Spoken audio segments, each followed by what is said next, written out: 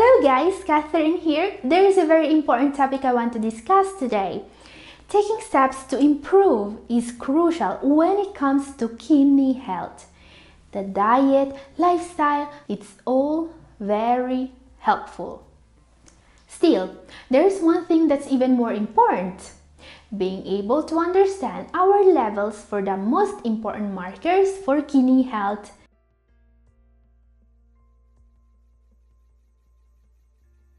And I know that blood tests reports can be complex and difficult to decipher for the patient, especially when we start to see a bunch of terms we don't understand.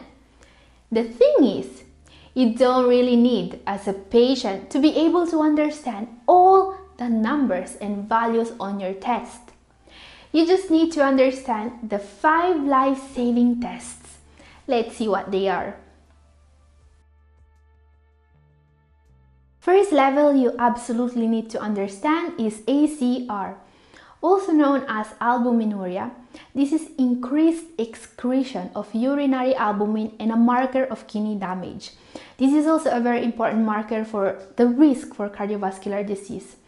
Always pay attention to it.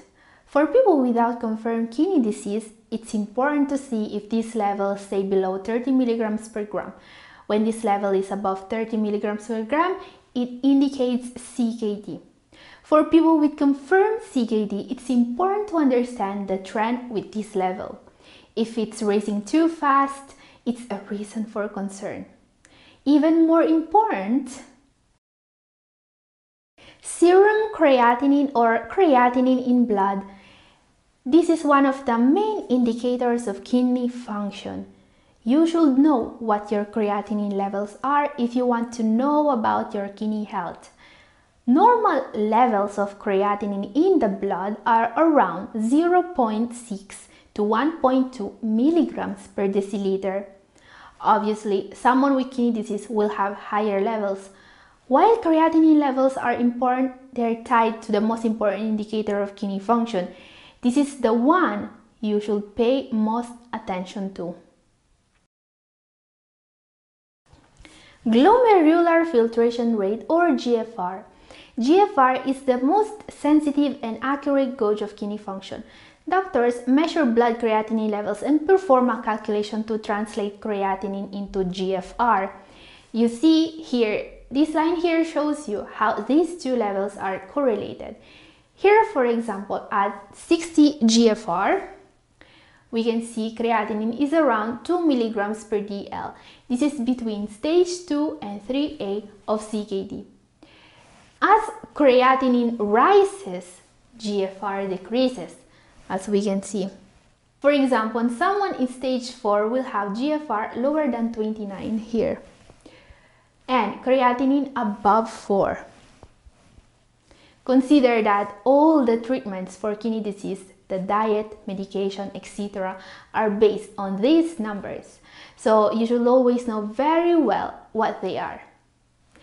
Now guys, there are also two values you will not just read in your analysis, but that you should also test at home regularly. First test, blood pressure. Why should you do this test? High blood pressure is the second leading cause of kidney failure after diabetes, but it's not just that. High blood pressure can cause kidney damage and kidney damage can cause high blood pressure. Remember that the kidneys are only able to handle blood pressure in a range of 130 over 80. Anything higher than that is bound to cause damage over time. So it's very important to keep blood pressure always under control. Clearly, the lower, the better. Ideally, your blood pressure should be as close as possible to 120 over 80. Now, this is a test you can even do at home with a very simple device. Remember to always test your blood pressure at the same time of the day and while relaxed. Second test is blood glucose. Diabetes is the leading cause of kidney disease in the world if you have it, you need to keep it under control. This is also a very simple test you can do at home, as almost everyone with diabetes already knows. Talking about fasting blood sugar, Less than 100 milligrams per dl is normal and over 126 milligrams per dl is diabetes. Just like for blood pressure, the higher the number, the more the risk. These last two are going to be particularly useful if you keep track of them in your personal health journal this can show you trends in your health and can also tell you if what you are doing in terms of diet, lifestyle and remedies is helping. How to compile an health journal to help with kidney health? Watch my video up here for the complete explanation. This is all for today guys, a new video is coming next Tuesday. I hope to see you there. Bye!